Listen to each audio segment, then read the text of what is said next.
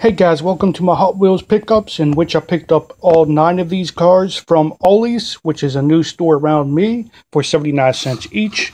First up, we have a nice looking Yu-Gi-Oh car, the Fandango.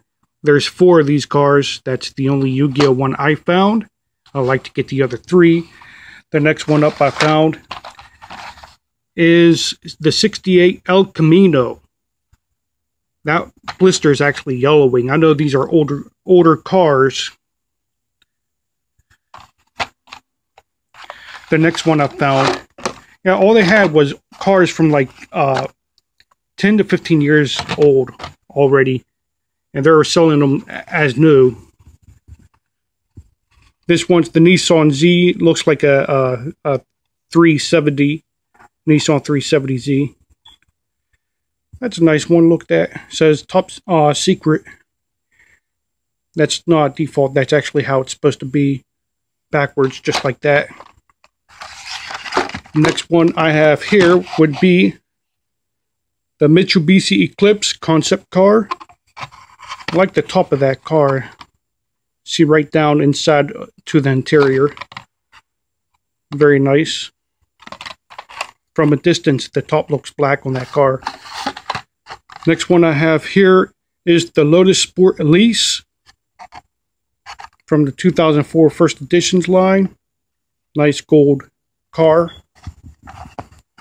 I like the gold color on that. Matches the black very, very well.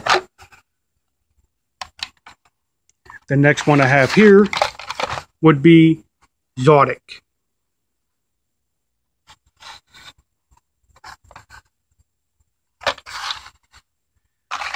And here's one of my favorite cars, the Ford GT40.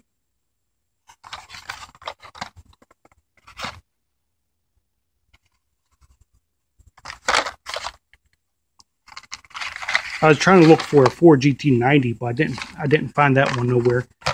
Next one up is a Ford GTX1 flat black with a gold interior. That gold interior just really stands out right there.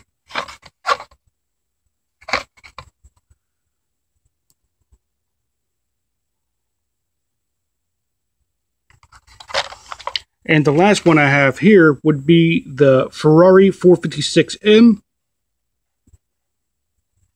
with flames on, on it from the Ferrari heat line. And that's it, all nine cars. Thanks for watching, guys.